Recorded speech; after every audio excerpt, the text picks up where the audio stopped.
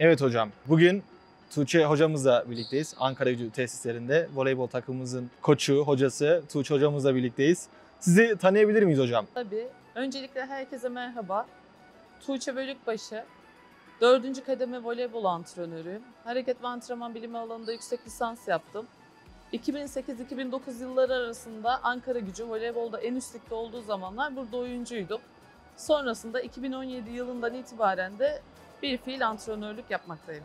Ankara gücüyle tanışmanız oyunculukla mı oldu diyebilir miyiz buna? Evet, evet. Ben Ez- Ankara Eczacı'da oynuyordum. O zaman beni Ankara gücüne transfer ettiler. Geldim, burada topumu oynadım. Bir sezon oynadım. Ardından tekrardan antrenör olarak yollarımız kesişti. Peki hocam ne kadar süredir Ankara Gücü camiası içerisindesiniz? Bir 7 yıldır ben buradayım antrenör olarak. Tabii geçmişimiz 2008'den itibaren. biraz voleybola girelim istiyorum hocam. Ankara Gücü voleybolda süreç nasıl işliyor? Hani çok fazla hem veriler tarafında hem taraftarlar bazında bilinmeyen çok fazla şey var. Evet. Ankara Gücü voleybolda nasıl işliyor süreç? 2017 yılında biz buraya geldiğimizde, başladığımızda e, burada bir söz verdik. Sıfırdan voleybola başlayacağız dedik. 2017 yılında başlangıcımızı yaptık.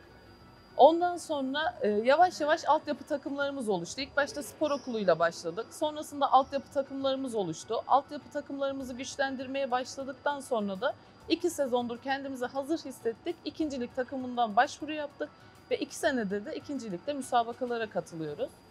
Geçen sene hedefimiz düşmemekte ve bu sene bu sezon için yatırım yapacağımızı konuşmuştuk aslında.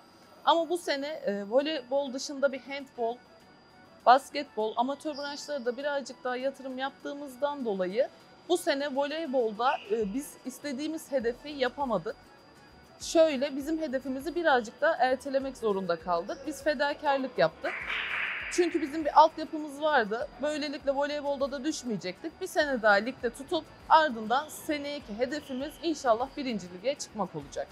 Evet hocam. Yani burada altyapı nasıl oluyor hocam? Ona değinebilir miyiz biraz? Şu altyapı nasıl oluyor? Bizim spor okullarımız var. Spor okulları dışında da takım gruplarına seçtiğimiz sporcularımız var.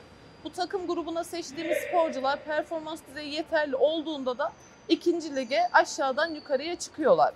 Biz size şunu bastırayım. Özellikle de söylemem gereken konu şu. Ee, Bizim ikinci ligde şu anda dışarıdan bir para vererek transfer ettiğimiz, aldığımız hiçbir oyuncumuz yok. Biz ikinci lig takımlarımızda da kendi altyapımızdan çıkan oyuncularımızla oynuyoruz. Gelip de bizde oynamak isteyen, yeterli olan oyuncular olursa tamamen onlarla devam ediyoruz. E, yıldız ayrımı var hocam. E, voleybolda yıldız var veya bir az takım var. O ayrıma biraz değinebilir? Bizde her kategori var. Şu anda Ankara gücünde 6 tane altyapı grubundan müsabakalara katılıyoruz. Mini, midi, küçük, yıldız, genç ve ikincilik olarak 6 tane müsabaka takımımız var. Maç hazırlık süreçleri hakkında neler söyleyebiliriz? Yani her maça özel bir hazırlık oluyor mu yoksa standart bir prosedür mü uygulanıyor? Tabii bizim e, sezon açılana kadar bir yüklenme dönemimiz var ama sezon açıldıktan sonra biz Yaşar hocamla haftalık takımı analiz ediyoruz. O maç o hafta bizim ihtiyacımız olan şey ne? Etkili bir servis mi? İyi bir blok mu? Defans mı? Bizim öncelik vermemiz konu neyse onu belirliyoruz. Aynı hafta içerisinde tamamen eksik veya o maçta gerekli olan şey neyse ona göre çalışmalarımızı yapıyoruz. Her hafta rakibe göre değişiyor çalışmalarımız. Voleybol sizin için nasıl bir noktada? Voleybol benim için nasıl bir noktada? Ben voleybola başladığımda 12 yaşındaydım. 12 yaşından itibaren haftanın 6 günü benim her şeyden önemliydi. Okulumdan da önemli olan bir voleybol vardı. Buradan Türkiye şampiyonaları, işte Bulgaristan'da bizim Grand Prix derken biz sürekli e, voleybolun içerisindeydik. Bizim için en önemli noktada oyuncuyken voleybol vardı. Sonrasında bu işin üniversitesini okuduktan sonra da antrenör olarak işin içinde kaldık. Ve benim önceliğim 12 yaşımda neyse şu an 28 yaşındayım. 28 yaşında da o tamamen voleybol. Bizim için iş değil. Bizim için antrenman. Peki hocam unutamadığınız bir karşılaşma var mı? Bunca yıl arasında. Ee, Ankara gücünde antrenörlük yaptığım sezon içerisinde mi? Olabilir evet.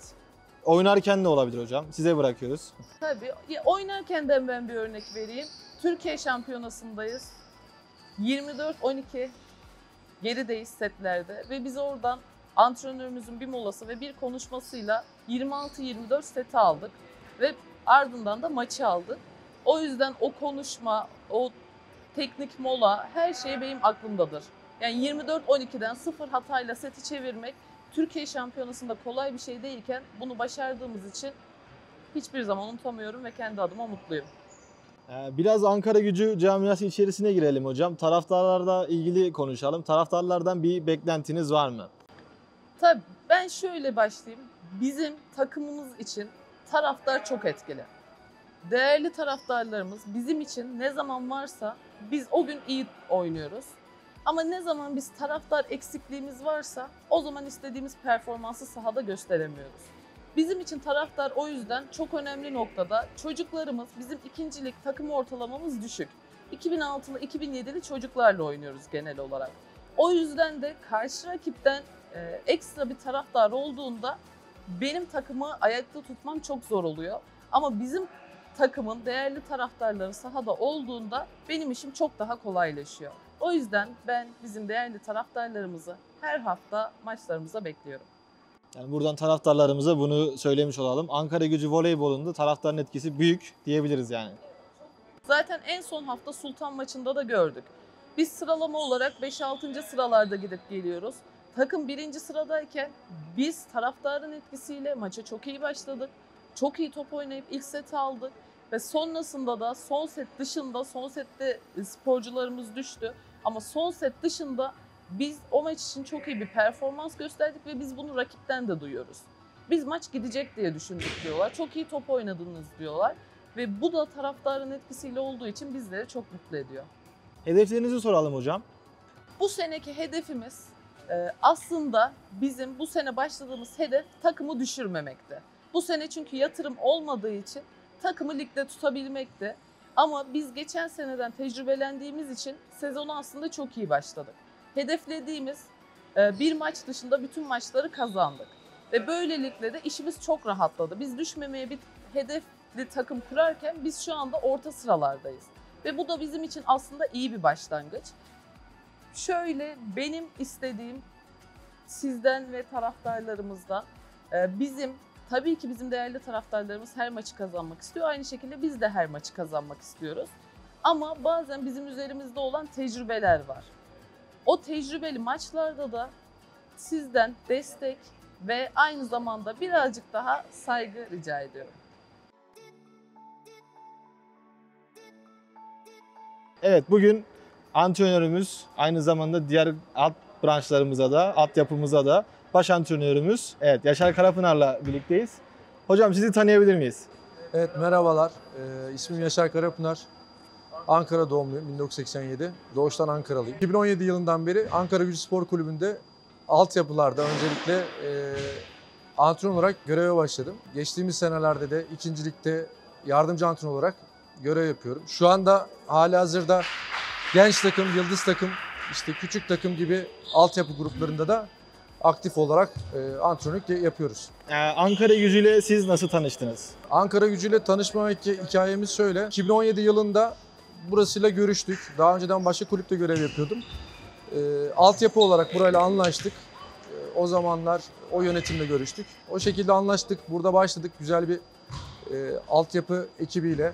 Tuğçe Hocam'la beraber başladık zaten.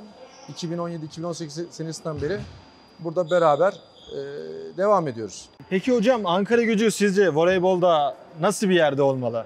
Sizin gözünüzde Ankara gücü voleybol nasıl bir yerde? Onu anlatabilir miyiz? Bence Ankara gücü e, voleybolda, futbolda nasıl Süper Lig'de mücadele ediyorsa bence voleybolda da en üst seviyede e, yer almalı. Kesinlikle yer almalı. Tabii bunlar için e, gerekli bütçeler var, işte e, şartlar var, imkanlar var. Bunların oluşması gerekiyor tabii ki. Biz bunun e, ilk adımını attığımızı düşünüyorum. Burada ikincilikte e, başlayarak, altyapıdan oyuncular çıkararak zaten ikincilik takımımızın çoğu e, kendi yetiştirdiğimiz oyuncularla e, mücadele ediyoruz. O yüzden biz en üst seviyeye çıkarmak için elimizden gelen mücadeleyi sergiliyoruz. Tuğçe Hocam'la, diğer ekip arkadaşlarımızlarla. Ankara gücü voleybol takımının içindeki bağı soralım size. Ee, nasıl bir durum var? Nasıl bir arkadaşlık var- var ve içeride nasıl durumlar? Ee, bahsettiğim gibi 5 senedir buradayım. Gerçekten inanılmaz bir bağ var. Ee, aile ortamı gibi burada çalışan e, hizmetli arkadaşlarımız olsun, görevli arkadaşlarımız olsun bize bu özel ortamı hazırlıyorlar. Ekip arkadaşlarımız olsun, antrenör arkadaşlarımız, yöneticilerimiz özellikle e, yani gerçekten burada bir aile ortamı var. Sporcu arkadaşlarımız e, gerekli özveriyi gösteriyorlar. Ga- gayret içerisinde çalışıyoruz. Keyifli bir çalışma ortamımız var. E, çalışma ortamımızdan gayet mutluyuz. sormak istiyorum size özellikle. Çok fazla altyapıyla ilgili sorular var. Altyapı ve hani yükselme kısmı nasıl oluyor? Bunu bize sen dinleyebilir miyiz? Şimdi bizim öncelikle spor okulu ve e, yarışma grubu olarak nitelendirdiğimiz e, takımlarımız var altyapıda. Spor okullarında yaklaşık şu an 250'nin üzerinde öğrencimiz var. Oradan e, antrenörlerimizin raporları doğrultusunda yeterli gördüğümüz sporcuları takımlara kazandırıyoruz. Mini takım, milli takım, küçük takım, yıldız takım, genç takım gibi e, kategorilerde yarıştırıyoruz çocuklarımızı. Oradan da çıkan çocukları A takımda değerlendiriyoruz. Peki hocam taraftarlara değinmek istiyorum. Nasıl bir e, voleybolda sahada nasıl oluyor bu etki? Yani ben de oyunculuk yaptım. Ee, taraftarın gerçekten inanılmaz bir itici gücü var. Özellikle Ankara Gücü camiasının o büyük taraftarının e, sahalarda e, biz bunu A takımda yaşadık. Tuğçe Hocam da bahsetti. En son yaşadığımız, oynadığımız Sultan Spor maçında e, ne kadar az da olsa bizim için çoktu. Yani 7-8 seyircimiz vardı. Gerçekten bunların itici gücünü teknik ekip olarak kenarda biz içeride oyuncularımız e, gerçekten hissettik. Bu rakip de bunu hissetti. Ee, o yüzden maça çok iyi başladık. İlk seti aldık. Ee, yani seyircinin gerçekten çok büyük önemi var voleybolda. Altyapılarda da aynı şekilde. Biz şunun eksikliğini bazen altyapılarda yaşıyoruz. Ee, kendi velilerimiz taraftarlık yapıyor. Kendi çocuklarını destekliyorlar tabii ki ama biz tabii ki Ankara gücü büyük bir camia, büyük bir taraftar grubumuz var. Ee, onların desteklerini bütün kategorilerde, özellikle A takımda görmek istiyoruz. Bunu hissetmek istiyoruz. Buna ihtiyacımız olduğunu düşünüyorum. O zaman taraftarlara seslenelim hocam. Sizden duyalım bunu. E, taraftarları önemli maçlara mı daha çok yoksa her maça Bu mı? maçlara davet ediyoruz. Voleybol keyifli bir spor. Ee, onların da eğlendiğini düşünüyoruz. O yüzden bütün büyük Ankara gücü taraftarını salonlara bekliyoruz. E, bu saatlerle ilgili Tuğçe hocamıza sormadık aslında ama saatler biraz garip hocam. Hani düzenli bir saat şeyi yok herhalde maçlar için. Ya Bu neye göre belirleniyor peki? İnisiyatif federasyonda. E, federasyonda yoğun bir takvimi var. E, voleybol son zamanlarda gerçekten e, Avrupa çapında da ülkemizde e, gelişme gösteren bir spor olduğu için e, federasyonun salonları, fiziki şartları doğrultusunda fikstürü o şekilde yapıyorlar. Saatler de evet bazen e, gerçekten e, ya çok uygun olmayan saatler de oluyor. Günler de aynı şekilde. Ama dediğim gibi bunu federasyon belirliyor. Öncelikle sizi tanıyalım. Ankara gücünde e, oyuncu olarak rol alan bir sporcusunuz. Ankara gücünde işler nasıl bunlara değineceğiz ama sizi tanıyabilir miyiz? Öncelikle ben Ezgi Yarız. Ankara gücünde smaçör mevkisinde görev yapıyorum. Daha ilk senem yeni geldim. Daha öncesinde başka bir takımda oynuyordum. Ee, ya gelerek gerçekten voleybol hayatıma çok güzel şeyler kattığımı düşünüyorum. Doğma büyüme Ankaralıyım. 18 yaşındayım. Neden Ankara gücü diye soralım o zaman. Hani buraya sizi getiren ne oldu? Ee, aslında ben hazırlık maçı yaparken tanıştım bu takımla ve gerçekten takımın antrenörleri olsun, ortamı olsun, o takım ruhu denen şeyi hissettim ve burada kalmaya devam ettim. Antrenman kalitesi olarak, oyuncuları olarak gerçekten çok kaliteli. Maçlar nasıl geçiyor? E, hazırlık aşamalarından başlayalım. İlk devre maçları güzel başladık. Sonra hani tabii yenilmek, kaybetmek olabilir ama ben umudumuzu kaybettiğimizi düşünmüyorum. Hani çok hırslı bir şekilde tekrardan maçları kazanacağımıza inanıyorum. E, bir smaçör olarak oyunda kendini nasıl hissediyorsun? Ya smaçör olarak gerçekten çok büyük sorumluluklarım olduğunu düşünüyorum. Hani takım arkadaşlarımın e, takım ruhunu yakalamak, o an maç içerisinde yükselebilmek ve onu devam ettirebilmek, sayı kazanmak hani gerçekten çok büyük sorumluluklar. Dışarıdan nasıl gözüküyor bilmiyorum ama bir oyuncu olarak gerçekten görevlerimiz çok zor. Hani o anın maçın psikolojisi olsun, fiziksel sakatlıklarınız olsun. Hani sizi gerçekten çok etkiliyor. Ama smaçör olarak sorumluluğumu yerime getirdiğimi düşünüyorum. Saha içine girelim biraz. Saha içinde Ankara gücü taraftarının hani o çok yoğun olduğu bazı maçlar yaşandı. Bu maçlarda neler hissettiğini konuşabilir miyiz? Tabii. Ya Ankara gücü taraftar gerçekten bizi çok olumlu etkiliyor. Hani oradan bir Ankara gücü sesini duymak bile hani bizim ruhumuzu kabartıyor. O hani oynama hevesimizi, ümidimizi, umutlarımızı gerçekten yükseltiyor. Hani hep birlikte olmak, o grup duygusu, takım ruhunu daha iyi yakaladığımızı düşünüyorum. Daha az ve daha iyi yakaladığımızı düşünüyorum. E, bizi gerçekten çok olumlu etkiliyor ve takım e, karşı rakibi e, mod olarak, ruh olarak düşür, düşürüyor yani. Bu açık açık maçlarda da belli oluyor zaten. En sonki maçımızda gayet ortadaydı. Yani bize gerçekten çok olumlu olarak dönüyor bu taraftar olayları.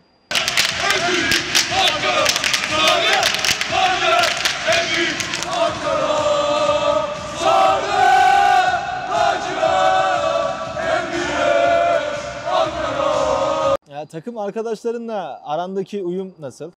Ben yeni geldim zaten. Hani bir yıl bile olmadı geleli ve gerçekten aile ruhu var. Hani evet takım arkadaşım hepsi birer birer ama e, o içtenliği, o sıcaklığı gerçekten hani bütün kanımda, içimde hissedebiliyorum. Zaten öyle olmasaydı değiştirirdim büyük ihtimal takımımı. Ama hani bana gerçekten kucak açtılar çünkü ben biraz sıkıntılı bir şekilde geldim buraya eski takımımdan ötürü. Bildiğiniz kucakladılar beni. Unutamadığın bir anı var mı senin? Eski takımla karşı oynadığım maç benim unutamayacağım maçlardan biri. Bu sene mi gerçekten? Evet ilk maçımız o takımlaydı. Ve gerçekten hani hayatım maçını oynadım denebilir. Evet. İyi ki güzel geçti. Güzel anılar biriktirdim, güzel tecrübeler kazandım. Ee, peki maçlarda heyecanlı olmadan oynayabiliyor musun? Ya da nasıl Başlarda- oynuyorsan nasıl oynuyorsun? Ya evet heyecan tabii ki oluyor. Hani rakip kim olursa olsun, hani çok düşük seviyede bir takım da olsa, çok iyi bir seviye takım da olsa heyecan tabii ki oluyor. Ee, ama hani antrenörlerim olsun, takım arkadaşlarım olsun, hani o rahatlatma duygusunu size aktarabiliyorlar.